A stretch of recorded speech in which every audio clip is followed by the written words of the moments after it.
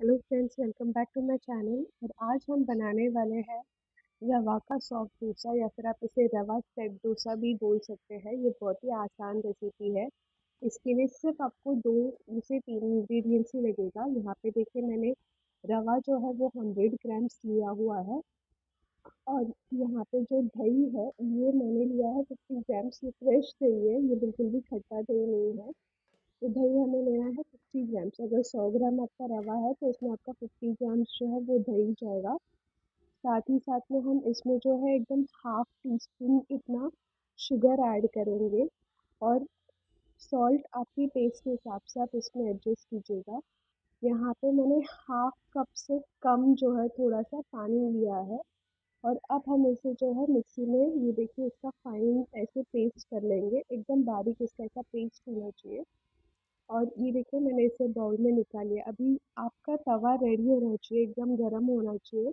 उसके बाद आप यहाँ पे जो है हाफ़ टी स्पून इतना जो है इनो ऐड करेंगे। हम इनो इसलिए ऐड करते हैं ताकि इसमें जो है अच्छे से जाली आए और आपका डोसा भी काफ़ी अच्छे से सॉफ्ट बनेगा। तो देखिए अभी इसमें जो है मैंने इनो ऐड कर आप देख सकते हैं कि कितना हमारा जो बैटर में है एयर बबल्स जो है बनना स्टार्ट हो गया है। अभी हमारा तवा जो है वो रेडी होना चाहिए और गर्म भी होना चाहिए, ताकि हम जो है डोसा फटाफट इसमें जो है निकाल सके। क्योंकि इसमें जो एयर फॉर्मेशन हुआ है अदरवाइज़ वो निकल ना जाए। ये देखिए यहाँ पे तवा ऑलरेडी मेरा गर्म है, बस एकदम थोड़ा सा आपको यहाँ पे जो है ऑयल अप्लाई करना है तवे में, जो बेस है उसमें। और आपको यहाँ पे जो है आपका सेट डोसे का जो है बैटरी इसमें पोर करना है। यहाँ पे आप आपका जो गैस का फ्लेम है, उसे आप मीडियम रखिए। इस सेट डोसा को बनने में बिल्कुल बिल्कुल दो से तीन मिनट लगेगा। ये देखिए, मैंने अभी जैसे इसमें बैटर फोल्ड कर दिया है। हम जो है ऊपर का जो अभी आप पार्ट देखते हैं, इसमें आप देख सकते हैं कि कितना अच्छे से जो है इसमें जाली पड़ना स्टार्ट हो गया है। हम इसका भी वेट करेंगे। जैसे जैसे ये बैटर ऊपर वाला जो है ड्राई हो जाएगा तब जो है हम डोसे को जो है फ्लिप करेंगे मतलब ऊपर वाला पार्ट है, उसे हमें जो नीचे के साइड में है वो फ्लिप करके थोड़ा सा सेक लेना है।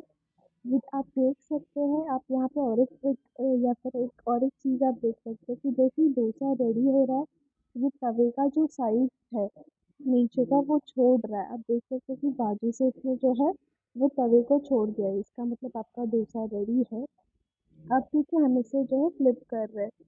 आप देख सकते हैं कि यहाँ पे इसने काफ़ी अच्छे से जो है गोल्डन कलर दिया है, हल्का गोल्डन कलर है। बिल्कुल इसी तरीके से हमें ये जो है गोल्डन कलर चाहिए। ये देखिए अभी आपका सेट डोसा जो है वो पूरी तरीके से रेडी है। ये बहुत ही सॉफ्ट बनता है और बहुत ही इजी है बनाने के लिए। कम इंग्रेडिएंट्स में बनता है और इंस्टेंट बनता है। तो आप इसे ज़रूर बना के ट्राई कीजिए। आप इसे चटनी या सांभर के साथ भी जो है सर्व कर सकते हैं। आपको ये वीडियो कैसे लगा ज़रूर बताइए और रेसिपी ज़रूर ट्राई करके मुझे कमेंट बॉक्स में बताइए। Thank you